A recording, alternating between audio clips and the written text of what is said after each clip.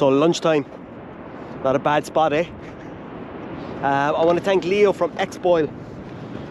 So I was in contact with him regarding uh, my Jetboil stash that I like to use the most, but the Xboil that I had was too small. You can get them in different sizes. So without hesitation, he sent me on the size that fits my X, my uh, Jetboil stash. And I want to thank him so much for that. But I'm going to try it out today. It's going to be it's going to be part of my ultralight uh, setup. So let's see.